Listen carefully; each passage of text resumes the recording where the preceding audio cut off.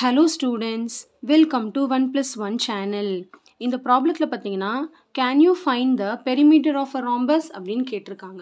So ஒரு ராம்பஸோட perimeter கண்டுபிடிக்க முடியுமா? கண்டிப்பாக கண்டுபிடிக்க முடியும். ஏன்னா ராம்பஸ் வந்து ஃபோர் சைட்ஸுமே கொடுத்தாங்கன்னா ஃபோர் இன்ட்டு சைட் அப்படிங்கிற ஃபார்முலாவை யூஸ் பண்ணி நம்மளால் வந்து கண்டுபிடிக்க முடியும் அப்படின்னு எழுதலாம். ஸோ இதுக்கு ஆன்சர் என்ன எழுதலாம்னா yes we can find the perimeter of a rhombus if we know the side of a rhombus using 4 into side formula we can able to find the perimeter of a rhombus அப்படின்னு எழுதிடலாம். சரிங்களா? Next can diagonals of a rhombus be the same length அப்படின்னு கேட்டிருக்காங்க. அதாவது ஒரு ராம்பஸோட diagonal இப்போ rhombus வந்து இப்படி இருக்கும் இல்லையா? ராம்பஸோட டயக்னல் வந்து சேமாக இருக்க முடியுமா அப்படின்னு கேட்குறாங்க எஸ் கண்டிப்பாக சேமாக இருக்க முடியும். Yes the diagonals of a rhombus can be same அப்படி சேமாக இருந்துச்சுன்னா in such case in such case it becomes a it becomes a square. அது என்னவா மாறிடும்னா ஸ்கொயராக ஆகிடும் சரிங்களா? ஸோ இதுக்கு ஆன்சர் என்னென்னு பார்த்தீங்கன்னா yes the diagonals of rhombus can be the same length in such case it becomes a square சரிங்களா? அது ஸ்கொயராக மாறிடும். நெக்ஸ்ட் வந்து a square is a rhombus but rhombus is not a square why அப்படின்னு கேட்டிருக்காங்க. அதாவது ஸ்கொயர் இஸ் அ ராம்பஸ் அப்படின்னு சொல்லிட்டாங்க. சரி இப்போ ஸ்கொயரோட ப்ராப்பர்ட்டிஸ்லாம் நம்ம என்னென்னு பார்க்கலாம். ஸ்கொயரோட ப்ராப்பர்ட்டிஸ் என்னது? ஸ்கொயர் ராம்பஸ் ஸ்கொயரோட ப்ராப்பர்ட்டிஸ் வந்து ஆல் சைட்ஸ் ஈக்குவல் ராம்பஸோட ப்ராப்பர்ட்டியும் all sides equal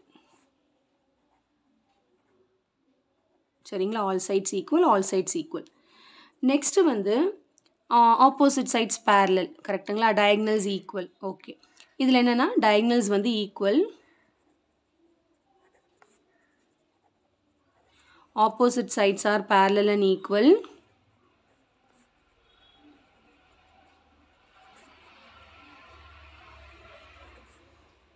parallel and equal அப்புறம் வந்து ஈச் ஆங்கிள் வந்து ninety degree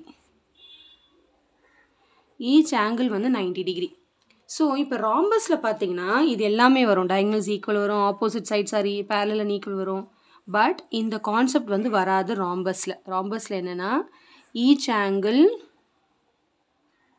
each angle is not ninety degree okay so இந்த ஒரு கான்செப்ட்னால தான் இந்த ராம்பஸை நம்ம வந்து ஸ்கொயர்னு சொல்ல மாட்டோம் ஏன்னா ஸ்கொயருக்கு கண்டிப்பாக எல்லா ஆங்கிளும் நைன்டி டிகிரி இருக்கணும் இல்லையா? அதான கான்செப்ட் ஸ்கொயரோட கான்செப்ட் ஓகே இப்போ ராம்பஸில் பார்த்தீங்கன்னா நைன்டி டிகிரி இருக்காது. இருந்தாலும் பரவாயில்ல இல்லைனாலும் பரவாயில்ல. அதனால தான் ஸ்கொயரை வந்து நம்ம ராம்பஸ்ன்னு சொல்கிறோம் ராம்பஸை ஏன் ஸ்கொயர்னு சொல்ல மாட்டோம்னா இதுதான் reason since each angle is not ninety degree in rhombus so rhombus is not a square இதுதான் கான்செப்ட் சரிங்களா? ஸோ அகெயின் சொல்கிறேன் since each angle is not ninety degree in rhombus so rhombus is not a square okay next sum பார்த்தீங்கன்னா can you draw rhombus in such a way that the side is equal to diagonal அப்படின்னு கேட்குறாங்க அதாவது rhombus நீங்கள் வரைய முடியுமா? Can you draw a rhombus in such a way that the side is equal to the diagonal side any one of the side வந்து டயக்னலுக்கு ஈக்குவலாக வரைய முடியுமா அப்படின்னு கேட்குறாங்க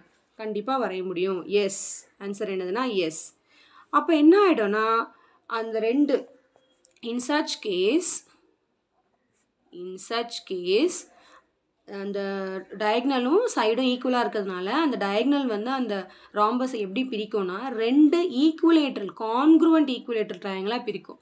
In such case we get a congruent equilateral triangle சரிங்களா? Congruent equilateral triangles நம்மளுக்கு கிடைக்கும். இதுதான் ரீசன் சரிங்களா? ரொம்ப சிம்பிள் கான்செப்ட் தான். ஜென்ரல் கொஷின்ஸ் தான். இந்த கான்செப்ட் வந்து உங்களுக்கு தெரிஞ்சிருந்தா இந்த சாப்டர் வந்து உங்களுக்கு ஈஸியாக இருக்கும். அதனால் சம் அந்த மாதிரி திங்க் கொஷின்ஸ் வந்து கேட்டிருக்காங்க. சரிங்களா? ஸோ கண்டிப்பாக இந்த சம்ஸ் நல்லா உங்களுக்கு கிளியராக அண்டர்ஸ்டாண்ட் ஆகிருக்கும்னு நினைக்கிறேன். So thank you so much for வாட்சிங் ஸ்டூடெண்ட்ஸ் பாய்